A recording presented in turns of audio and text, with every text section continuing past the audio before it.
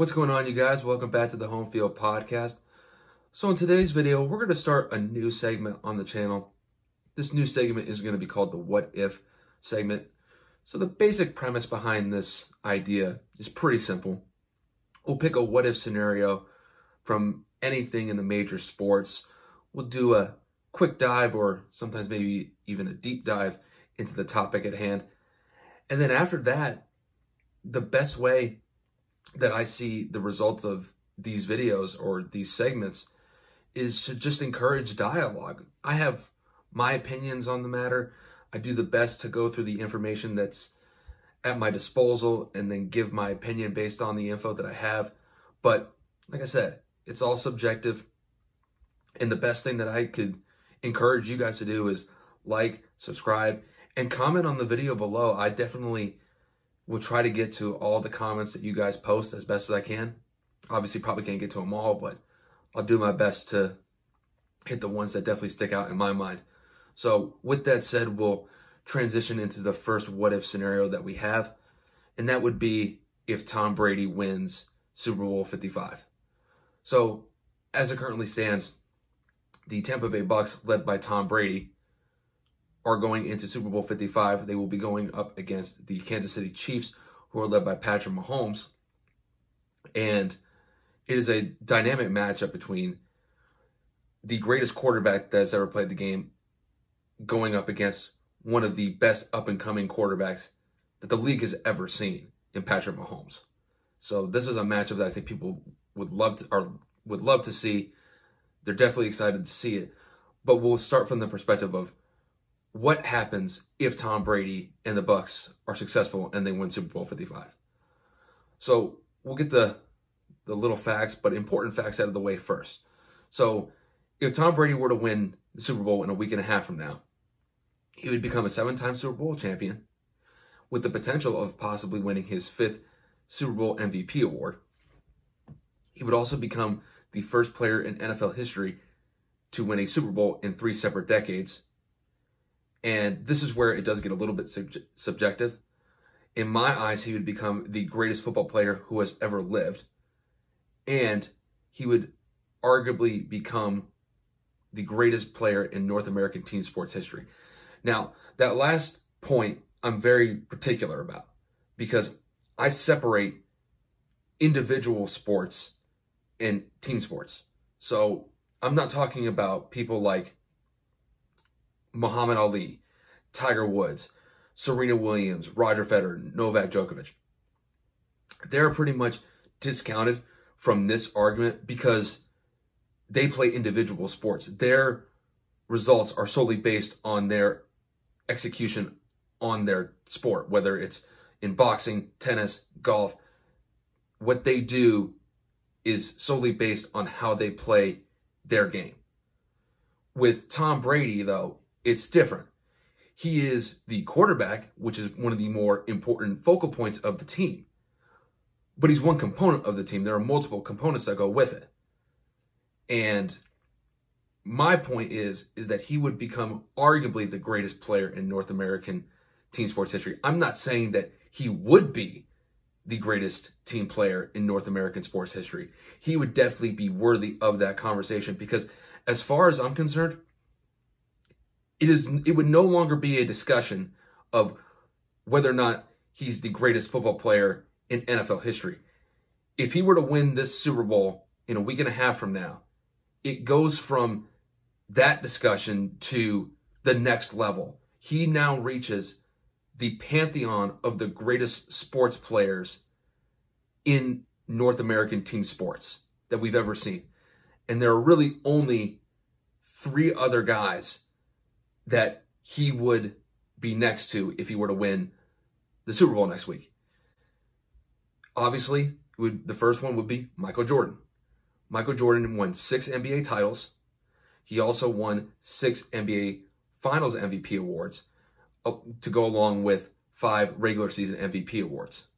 You have Babe Ruth, who is widely regarded as the greatest baseball player who has ever lived. He won seven World Series titles in his career. He won three with Boston, and he won four with New York after he was sold from the Boston Red Sox to the New York Yankees. And then you have Wayne Gretzky. Wayne Gretzky is similar to all these, to both of these players, because he's widely regarded as the greatest hockey player that has ever lived. Tom Brady would join this elite company. And just to kind of focus on Tom Brady here for a second, because I could go over the stats that he has throughout his career pretty much by and large in regular season and in playoff play. He's either first or second in major statistical categories like touchdowns, yards, and his win loss record in both the regular season and the playoffs is just staggering. He's number one in both of those by a mile. And to get into his achievements, like I said, he's already a six time champion.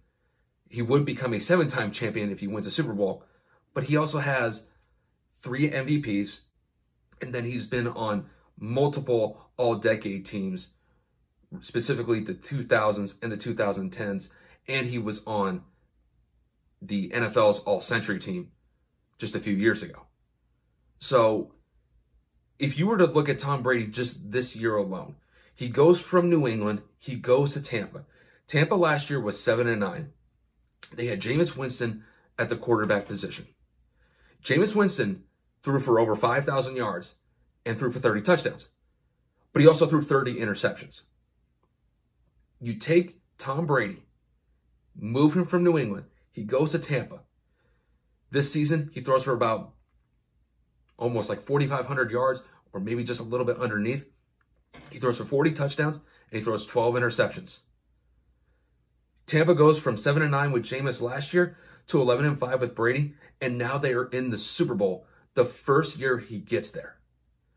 Tom Brady is pretty much the main determining factor for the success of the Tampa Bay Buccaneers. Their defense is pretty solid. They have some great players on this defense, like Devin White, Lavonte David. They got up and coming stars like Antoine Winfield Jr. They've got a bunch of players on the offensive side of the ball as well, in Mike Evans, Chris Godwin, Scotty Miller.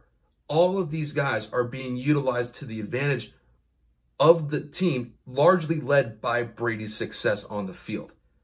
This team could have actually been pretty decent last year if they had a competent quarterback play. They are getting it from Brady this year in in large part due to his leadership and his execution on the field. They are in the Super Bowl. And we're talking about the Tampa Bay, Tampa Bay Bucs here. The Tampa Bay Bucs have either the worst sports record as far as their winning percentage goes in all professional sports. It's really a two team race between them and the Charlotte Hornets or the Charlotte Bobcats.